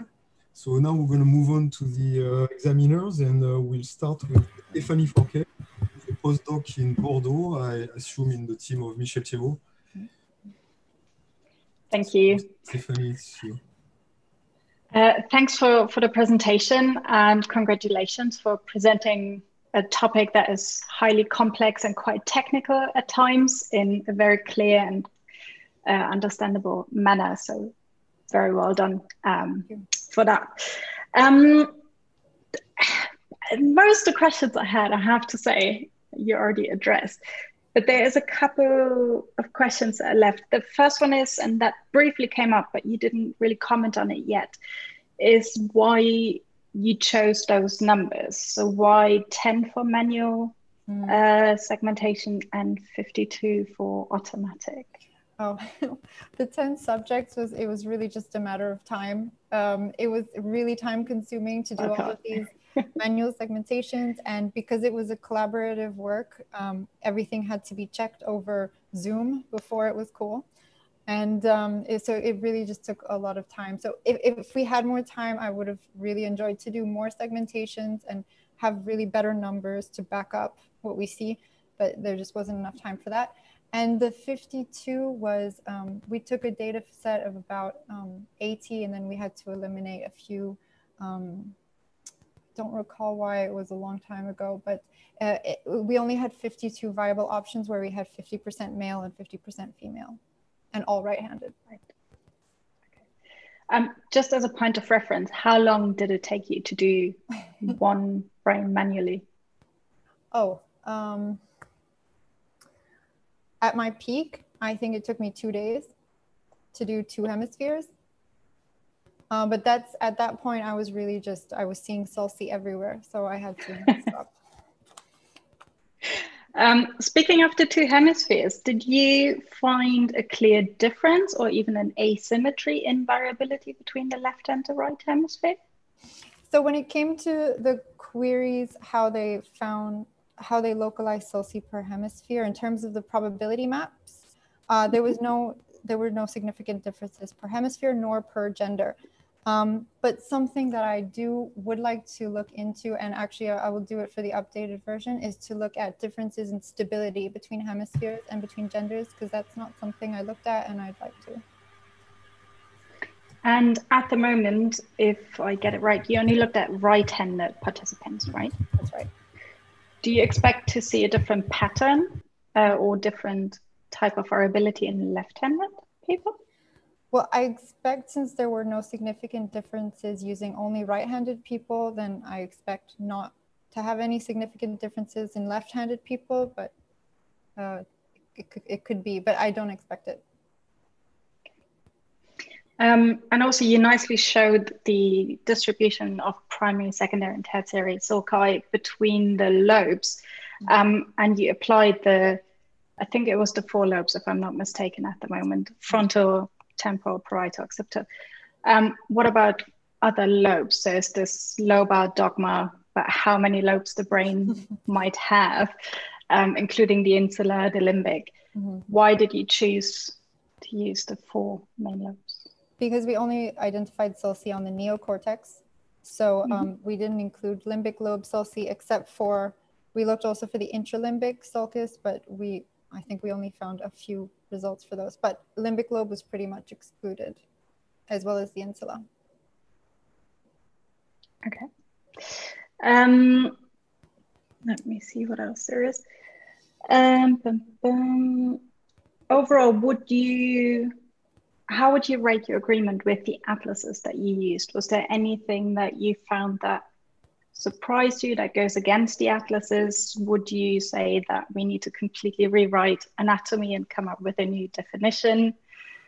Uh, definitely not rewrite anatomy because it's already really complex as is. And everyone, if people start adding their own definitions based on data driven approaches, it can get even more complex. So uh, I really want to stress that this is a data-driven method to look specifically at our population of subjects, and I don't think that this should be applied to the general humanity yet. Um, but the point is that this is really supposed to be a jumping off point to have like a global way of identifying sulci, and then maybe we can draw conclusions for general anatomy. But at this point, no. That's a good answer. Um, if you could go back and redo the project, mm-hmm. is there anything that, having finished it now, that you learned that you would do different if you had to do it again? Hmm. I really wanted to look at applications of our method to pathology. and um, really it was just because um, I don't think to that point in time yet. There was a lot to learn along the way. So if I could, if I could start the PhD again, knowing everything I know now, it would be really great. I feel like I could use all of these tools at maximum efficiency and then really use it for applications of neuroscience. Great. Um, and how would you see your work integrate with other methods and other fields like uh, we mentioned before psychiatry, neurodevelopment, maybe neurology, but mm-hmm. also at the very beginning of your talk, you talked about the um, gyri and the white matter. So, how would you see your work integrate with all of that? Mm-hmm. Well, um, Demian, with another PhD student, is looking at applications of NeuroLang for neurosurgery.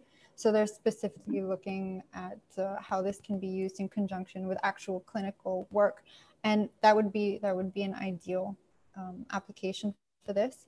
Um, as I mentioned, it would be really interesting to look at NeuroLang comparing healthy participants and pathological, um, or is, is that the correct term, pathological participants? Um, and as you know, I also know a bit about uh, white matter, and I also know that they have endpoints in certain cortical regions. And I, I, would be really interested to see basically the relationships between them.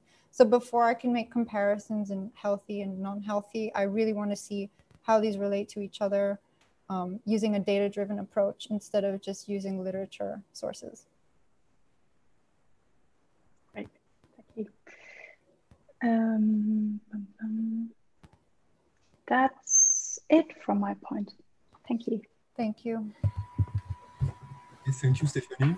So now the questions are for the second examiners. Uh, Philippe, Yes, thank you, Olivier. So um, uh, thank you, Antonia, for your very nice presentation. So I really enjoyed uh, listening to you, and uh, I really appreciate how you were, you were pedagogical and didactic during the presentation, which has as well well illustrated. Um, so, and I wanted to congratulate you for that. So now I have a few questions. Um, uh, I would like to maybe to step back to uh, the definition of the bounding boxes uh, that encompass the, the SULCI. Mm. So um, I was wondering uh, how you choose the size of these bounding boxes, whether it's a minimal bounding box that uh, uh, includes uh, the any size or whether you have some user-defined parameter or threshold just to select. So the bounding boxes were uh, a description of actually how we compare each of the SULCI to each other. So the, the SULCI were compared to each other using intervals, mm. and the intervals were from a range of the lowest value on the dimension and the highest value in the dimension. And these basically signify the bounding boxes, the minimum value and, and the maximum. Okay. And so um, do you think that you could integrate uh, in your set of queries uh, some measures of uh, uh, uh some uncertainty quantifications based, for instance, on physiology or stuff like that? That could help you, for instance, uh, uh, in some cases where it's not clear uh, whether some SULCI is in front of the other on on a side on the medial part compared to the other, or mm. could you generalize your grammar to some extent to integrate some uncertainty, uncertainty quantification? Sorry. Um, I'm not familiar with uncertainty quantifications, um, but basically all SULCI begin as being general. So they exist on certain planes. And then with the complexity of queries, we narrow it down to what we want. So the, the, the specificity of, sorry, the, the specifications of each query are, are mutable themselves. Okay. Um, you you mentioned during your presentation some uh, again some applications uh, in neurodevelopment for instance mm -hmm. so as you know um, during uh, the early stage of uh, human life. So uh, the human brain is uh, at the beginning not circumvoluted, and the first uh, um, gyrus are, are, growing and giving uh, rise to also the presence of sulci. And mm -hmm. so, because your approach is uh, semi-hierarchical or hierarchical, mm -hmm. so you definitely need, I guess, uh, to rely on the presence of certain size to make some reliable inference. So could you do you have any idea of uh, uh, from what uh, age you could apply at what age you could apply your um, neural uh, processing mm -hmm. to neurodevelopmental data? Well, I expect that if there are a minimum of two sulci, you can relate them to each other. So first you can say, is there a sulcus? And you can find this basic from, from a characteristic of depth. If there's only one sulcus, you say, is there a sulcus? And if there's two, you can say, okay, you have two sulci, which one is deeper, as an example. And then you relate the other one to the deeper one. So I expect that as long as there is at least one sulcus, at least two sulci, then you can relate them to each other. Okay. And do you think that it will be uh, very demanding in terms of uh, human resources and computing time to to process uh, some database in uh, some database of uh, neurodevelopmental data, or or is it almost uh, reachable in a in a couple of months? Yeah, at the moment, the the queries are not that efficient. So they do take time, but we're working on making them faster. With, uh, Demi and I are working on this together. Okay. And what about the translational aspect between uh, species, for instance, uh, non-human primates and, and humans? So do you hmm. have any intuition on how you could uh, uh apply or convert uh, your human-based queries to uh, NHP queries? Well, it's not something we've done. So we we've only used NeuroLang on human subjects, but it would be, I, I would be really interested to see how this translates to other primate species. I feel like as long as there is at least one reference sulcus, then you can make comparisons to other sulci. So there might not be the five that we used in mm -hmm. all subjects, but if there's at least one, the central sulcus or the lateral fissure, then you can at least make relationships to each other to, to each other in terms of the other sulci. And then also you can look at which sulci across species had the same characterizations. Because maybe they don't exist uh, on the same place in space, but maybe they have the same relationships is, is something we could look into. Okay, so maybe now just to finish a couple of more general questions. So what's um, strongest uh, feature or asset you have developed uh, along your PhD during this uh, these years, and uh, how could you how do you will rely on on it uh, in the future? Um, I feel like the first one is our data set of 10 manually segmented brains.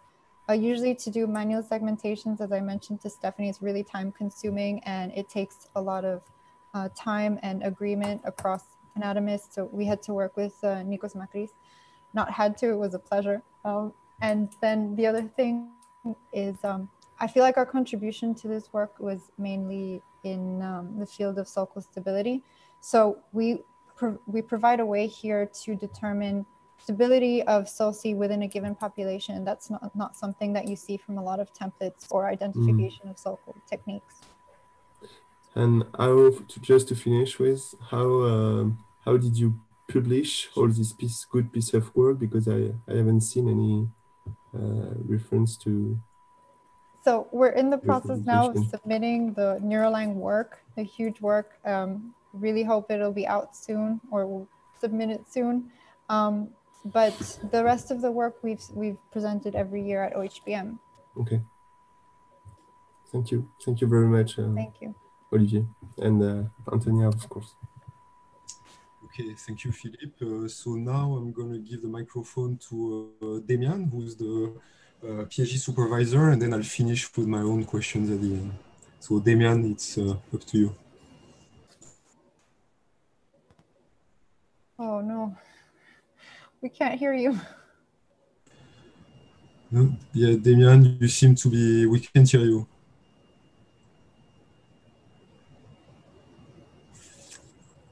Maybe you should do like Michel and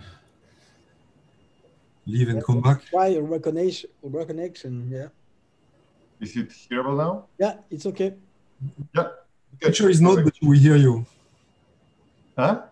The- the- your picture is not moving, but I can hear you. Anyway, go ahead. It's not moving. I am moving. I'm breathing even.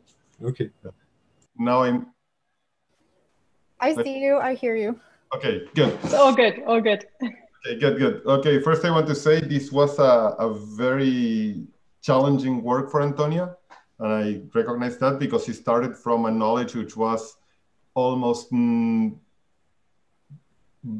all from the biology or neuro neuroanatomy section with no knowledge of computer science. And it was a huge amount of effort to come up and understand the mathematical basis of logic as well as to be able to code, but she was very determined that she wanted uh, to do work in methods. And she has moved quite a lot since she started, and that should be acknowledged. Um, and she brings a very good element to the whole rest of the team, and that also should be acknowledged there. Um, so I only have a few lead questions, as most of my questions were done while writing the manuscript, um, which the first one is how, taking back a little bit what the other uh, examiners said, how would you complement this to be able to, for, for instance, bring in sulci or subcortical sections, sub, subcortical elements? As the work is volumetric and in 3D, can you see using this type of system to characterize other structures that are on the cortex or subcortical? You are muted. Oh, right. Um, yeah, it would be really interesting to be able to label subcortical structures. Um, as you know, we did a collaboration with other members of the team where we looked at the, we, we anatomically labeled all of these um, images which had their functional regions um, highlighted. So we had to look through all of these images and then label anatomically all of the regions. And this was done in a spatial, in the spatial setting. So I feel like we could use that in order to also devise relationships of the subcortical structures to each other and to the cortex. It would be, it would be an interesting next step to do that. Okay, good. Um, and coming a little bit back to what Michel asked, if you would say I would magically need like a set of, for instance, four new predicates that work perfectly well, implemented perfectly well, which ones do you think will be the most helpful in making the definitions better? I think trajectory is quite relevant, especially since in most of the anatomical descriptions, they say that a sulcus is either longitudinal or vertical or anterior posterior or posterior inferior. And these that's exactly what we wanted to incorporate. But as we showed, it wasn't actually helpful in identifying the queries in the method that we tried. But I would be really interested to work on that to make it better because I really feel like since we're working in a volumetric space here, having the added characteristic of trajectory of each sulcus, I think would really limit each search to look for exactly the one that you want. Okay, and one last one. That's a good answer. Thank you. Um, do you think there's an issue here with the brittleness of logic? The issue that things are either true or false. Does is is that that allows you to express knowledge, but is that too restricted sometimes? In some cases it was and um, i tried to overcome this by adding the dominant relativity. So in some cases um, because it was either yes or no it didn't allow for the flexibility that we need in anatomy. So um, by adding dominant relationships to say sometimes yes but also no um, we tried to overcome that. Okay good. Thank you. That's all for me i think olivia thanks Demian. Okay, thank you, Demian. So uh, it's my turn to, to finish. Um, so first, uh, I would like to join the others to say that uh, you know your presentation was indeed uh, very clear and uh, very well illustrated. Um, about your manuscript, I think indeed, as Demian said, uh, you know it's a, it's a very difficult problem that you tackled. So uh, um, so you know well done, and um, also you bring. I was happy to see that you bring. Uh, some sort of original approach to uh, what is uh, traditionally do, done in the in the literature. Mm -hmm. um, I I will also like um, Michel. I would like to say that I think there was a number of things that were missing in your in your manuscript. Um, in terms of methodological details. So mm-hmm. there's a number of things that uh, maybe you could put in annex to mm -hmm. know exactly how you apply your methods. I mean, you use softwares, uh, uh, they all have uh, parameters, they all have, uh, you know, various things that can influence actually even the result that you produce in terms of uh, probability maps or stuff like that. And so I think it's good to have that as a reference. Uh, one thing that uh, I looked for and that I couldn't find your manuscript, and I think that should be added as well, is uh, what sort of object you're working on.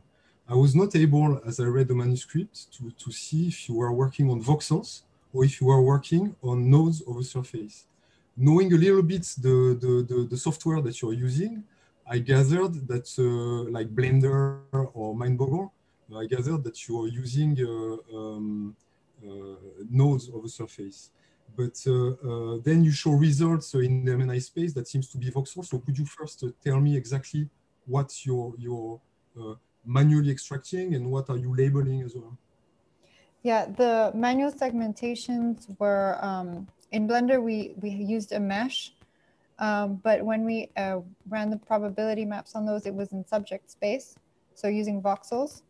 Um, and, and, the Mindboggle extracted subjects were also in, in subject space, for, which is the default in HCP dataset. And then we non-linearly registered it to MNI, so everything was in, in voxels.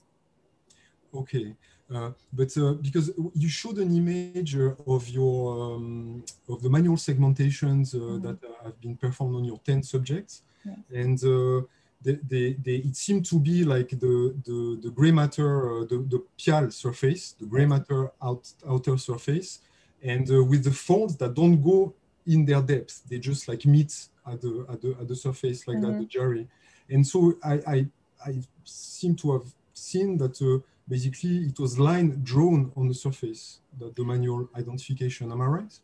So we you, we did the drawings on the pial surface. You're right, but actually the cool thing about Blender is that you could go inside the brain, um, and it's all hollowed out. So you just have the pial surface, and we actually did the segmentations on the fundus of the sulcus. Okay. So you can't really see it too much on the surface. There were some cases where we connected the segments over the gyrus, which is what you can see on the surface. Um, but in general, it was on the mesh. Okay. Uh, I think it's uh, it's important to give those details and explain yeah. methodologically everything you've done. The reason mostly I think it's important is because of something you said uh, that uh, uh, Mindboggle, when you look at the intraparietal sulcus, mm -hmm. Mindboggle tend to split it in many places, in many uh, pieces. And that's why I think that uh, the representation that you use of sulci is very important for your results.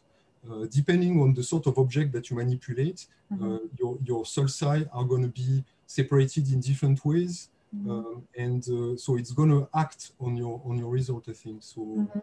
at least not that I uh, criticize the, the methodological choice that you've made of using Mindboggle and stuff, but uh, we need to know exactly about that sort of. Yeah, I understand. Okay, add this into um, appendices. Okay.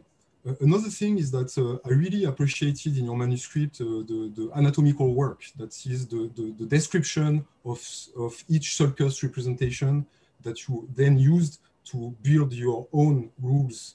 Mm so I think that's, that's very good because that provides real knowledge basically in the manuscript. Um, but I was surprised that something else was missing. And so why did you choose to not uh, mention uh, any of the other methods that exist in the literature to label sulci. I was expecting a, a, a review of that literature, basically. Yeah, um, we we looked at other sulcal parcellation techniques, and um, but the point that we wanted to create was that the the current labeling techniques which exist have a predetermined set of brain regions.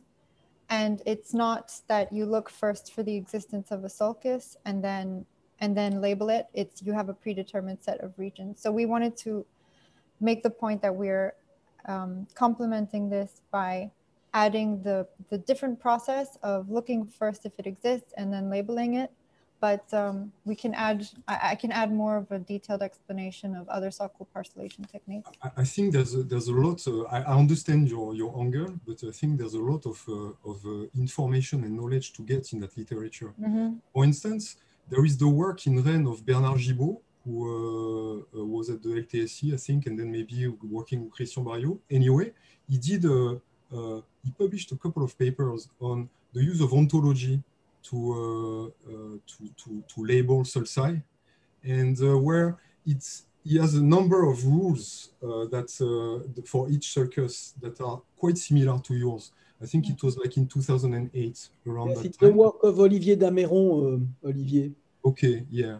Um, and so um, uh, in that work, even though maybe you're taking a slightly different angle, there is interesting things uh, which lead me to my, my next question is that when you label by hand, you, you mentioned that your procedure or the, the, the anatomist you work with uh, follows a certain order. So for instance, you're gonna label the primary sulci, let's say the central sulcus, and then anterior of that, you're gonna find the precentral, and then from there, you're gonna propagate your labeling.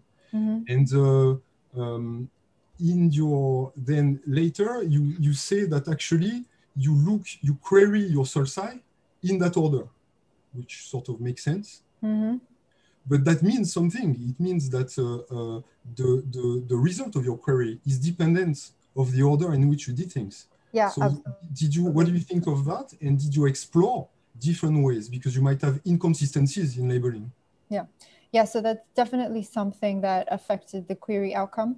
Uh, and first, the way that we designed the order of the queries was to reflect the taxonomy that we have. So, which is supposed to be intuitive of the, the classical neuroanatomy labeling method.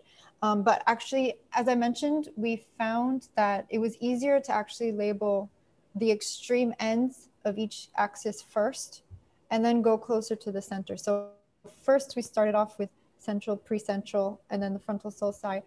But then we found that it was actually the end result that we have, the order is central and then maybe frontal marginal, inferior frontal, precentral.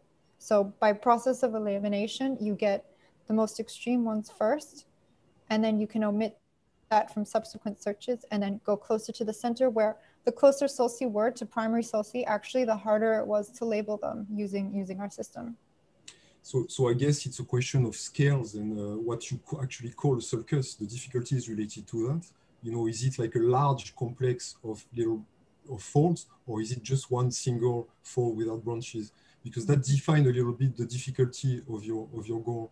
And uh, for having labeled quite a lot of sulci myself, mm. uh, I find that this order saying, you know, I, have got like a heuristic, for instance, like you, you can start with the most anterior and walk back and, you know, meet in the middle from the, the central mm sulcus or whatever you find uh, the good order. Often I do the same. I mean, I, I, clearly do the same, but often I've got to go back and forth and correct. Why? Because uh, there are inconsistencies in the relationship, you know, and you might label one, one sulcus like that. And then when you're going to get to the next one, you see that maybe you have to revise your judgment and mm. have the feeling that your system doesn't allow for that. Mm. Yeah, that's true. And uh, this is one of the limitations of our work that there's follow through. Exactly. So if it if something is mislabeled and it just continues, um, there there's we don't have a we don't currently have a system to correct for mislabeling. That's definitely a limitation that we we need to fix. Um, but otherwise, uh, sorry, the question was. Uh, the question was about uh, the possible inconsistencies that you might meet mm -hmm. when you mm-hmm. want to label something based on what you've labeled first, depending on the order, or do you have to go back and change a labeling that you've done before? And yeah. How yeah. do you? How, how would you think you would implement that basically to succeed into the? Yeah, that's definitely. Um, uh, there were definitely inconsistencies in that regard, uh, and what we would want to do is, I think it. You have to know the sulcal extraction technique that you're using because we had to the when we did the manual segmentations we had much larger and connected sulci so the the queries even though they were in the same order they showed different results to the ones that were extracted using an automated extraction system. So then when I, we became more familiar with the mindboggle extracted system we saw that actually maybe the intraparietal is split up into five so then you can adjust the query to say, okay, I don't want just one sulcus as a result. I want all of the candidates which fulfill these requirements. So then you can say, I want all of the segments in this section instead of just one. Um, so that's one possible way of fixing uh, this problem. But again, it means that you have to understand how your extraction technique is extracting sulci. Yeah, I agree. When, Okay. and again, this means that you have to have a, a good understanding of what the anatomy is supposed to look like. Uh, and this means that you, you're supposed to have a, a good background of the anatomy itself. And what we want to do is we want it to be able to be used for people who don't necessarily have anatomy backgrounds. So we're trying to make it as intuitive for as, as possible for those people. Okay. Um, okay. I'll, I'll finish with one last question, which is a little more uh, um, uh, uh, technical detail, but I think it matters. Uh, as you said, uh, the, the, the, the, representation of the sulci uh, matters, the way to extract them. And uh, um, how do, how, it's not clear to me how your system deals with the, the fact that the same sulcus might have several uh, components, several pieces that are disjointed. Uh, how do you deal with that? Because I have the feeling that what you call us, what you're going to label, is an entity that is entirely connected. Mm. Am I right? In some cases, it's entirely connected, but in some cases, it's broken up into different segments. Um, Yes. So depending on the sulcus, based again on, on what we saw individually, we either had, um, we, we changed the secondary query, which takes one sulcus from the first one, and we changed it according to the results of whatever came up from that section of the brain. So if that section, if the query which we're looking for came up and had a, a huge mass of different sulci, Yeah. Mm-hmm. then we added a secondary query which said, okay, we're only looking for the most anterior one here. So, so that means that in the end, you're going to have, for one label, let's say mm-hmm. Supertemporal sulcus, you're going to have only one element labeled supertemporal sulcus. Yeah, if that's what you want. Yeah, because precisely that's not what I would want. Hmm. Uh, Because there's the option. STS that can have one, three, or four pieces, for instance. Mhm. There, there is the option to, um, if you just have one query which searches for all segments, all pieces of sulci which fulfill the requirements, then you don't have a secondary query. That's optional. So you can just say, I want all of the sulci which fulfill the requirements of this description.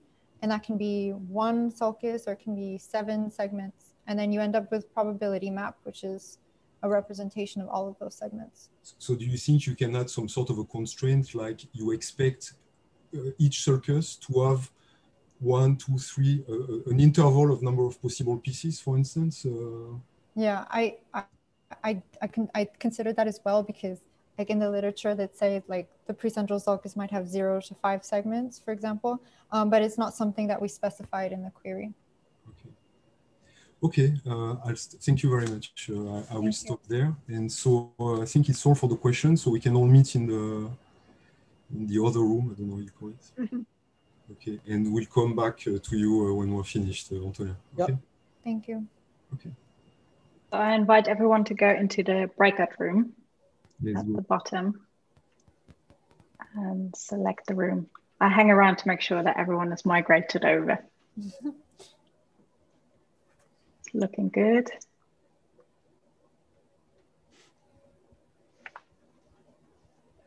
Good. I will turn off my camera. Yes, you'll still be live.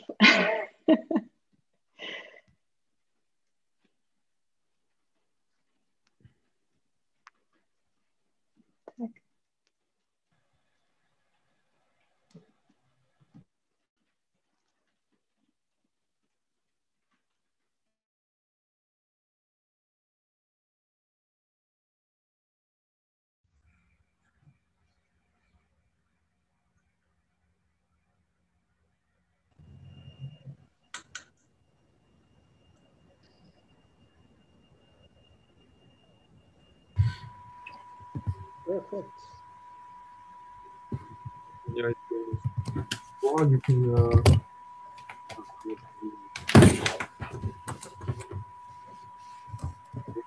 for Demian.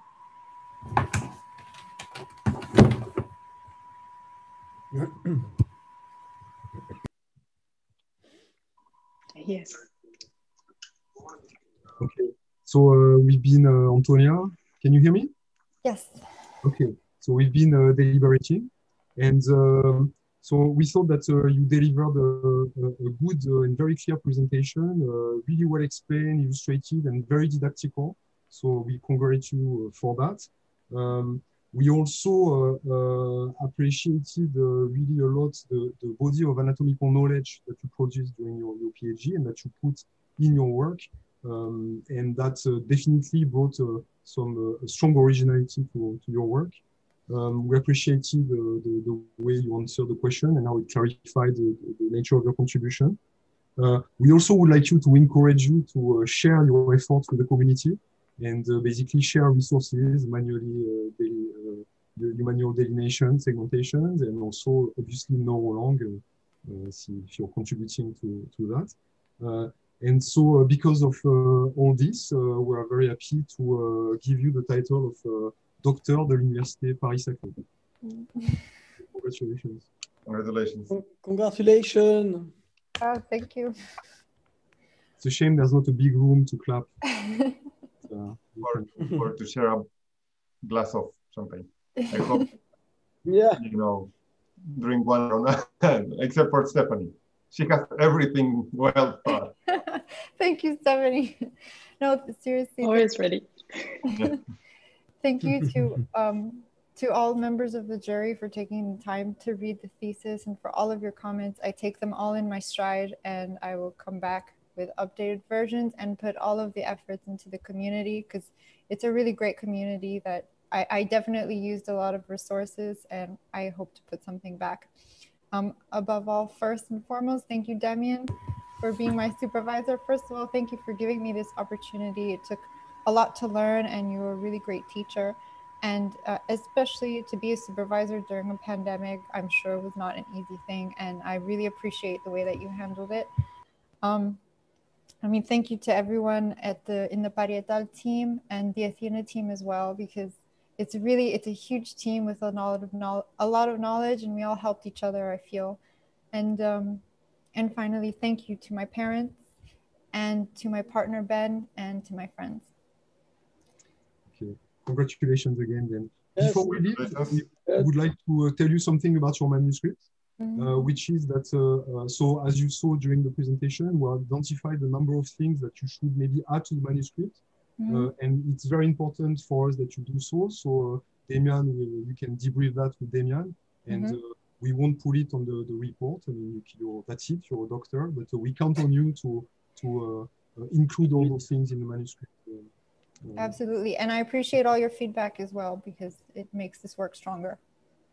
But for, for today, relax. We'll speak about that. yes. Go and enjoy first. Yeah. Yeah. Enjoy enjoy the day. Good. Thank you. Thank you all so much. Um, also, Antonio, you want to check YouTube? There's a lot of congratulations in the chat oh over there you. Yeah.